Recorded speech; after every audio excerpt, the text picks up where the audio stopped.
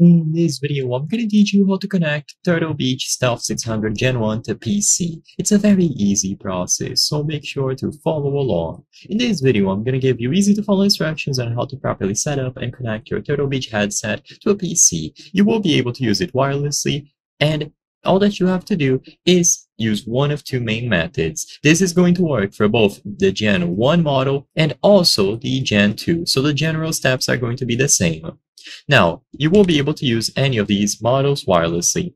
So first, I would recommend connecting it wirelessly.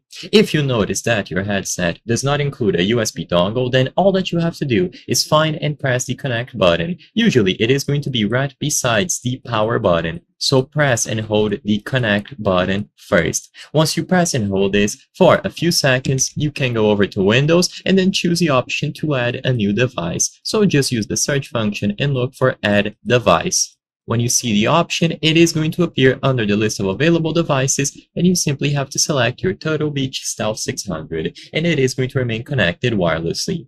Alternatively, if this does not work, make sure that it is sufficiently charged, or if you notice that your specific model includes a USB dongle like this one, even if it is branded for Xbox, you will still be able to connect it to your PC. So usually, all that you have to do is plug this USB dongle into any of the available USB ports on your PC, like you can see over here on this illustration, and once it has been successfully plugged in, you press the connect button once more on the headset itself. So press the connect button and it should pair itself up to the actual dongle. If there is a physical button on the dongle as well, be sure to press that and then the dongle will synchronize itself with the headset as long as the dongle is inserted into your computer. Consequently, the headset is going to connect as well, and you will be able to listen to all of the outcoming audio through the headset. I hope I was able to help you on how to Connect Turtle Beach Stealth 600 Gen 1 to PC. If this video helped you, please be sure to leave a like and subscribe for more very easy tips.